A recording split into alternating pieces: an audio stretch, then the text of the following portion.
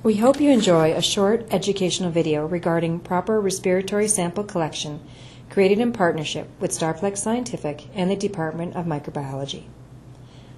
This video is being narrated by Dr. Robert Lannigan, MD, FRCPC. He is the medical leader of the Clinical Microbiology Laboratory located at London Health Sciences Centre in London, Ontario, Canada.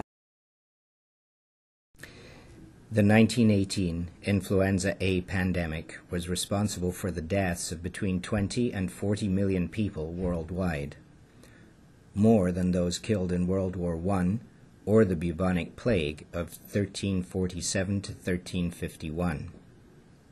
While readiness for pandemics is important, it has to be remembered that a variety of viral respiratory illnesses are common in the general population the rapid identification of viral pathogens is crucial in the management of pandemics, local outbreaks, or single cases of viral respiratory infections.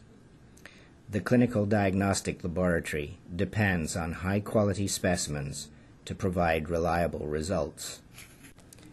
The newly introduced StarSwab Multitrans system utilizes a flocked swab design that significantly enhances the number of cells obtained during sample collection. This leads to significant improvement in identifying viral pathogens using either direct detection or viral culture. Proper collection techniques are important to obtain the best sample while providing appropriate protection for the person collecting the specimen. The following video clip demonstrates the personal protective equipment needed to safely collect the sample. This includes disposable gloves, a mask with appropriate eye protection, and a gown. Hands should first be washed before putting on the personal protective equipment.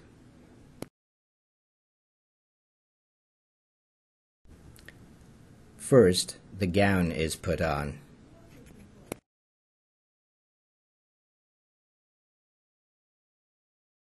Next, the mask with appropriate eye protection.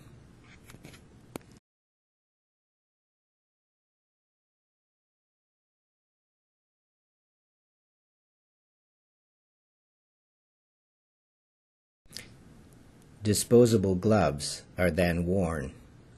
Care should be taken to ensure the gloves fit over the cuffs of the gown. Once appropriately protected, the sample can be collected. The patient can be given a tissue as following collection the nose may drip.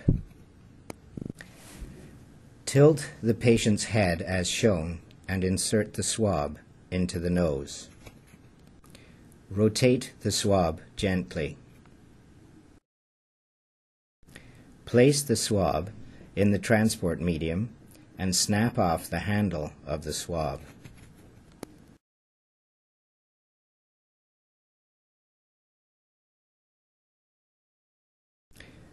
Put the cap on the transport vial and tighten firmly.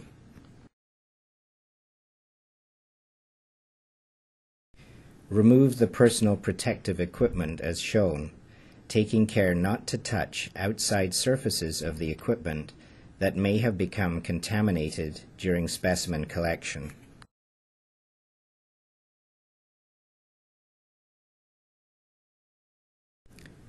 Wash hands.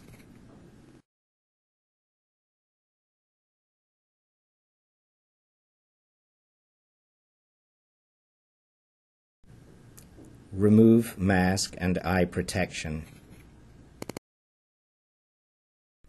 Wash hands once more.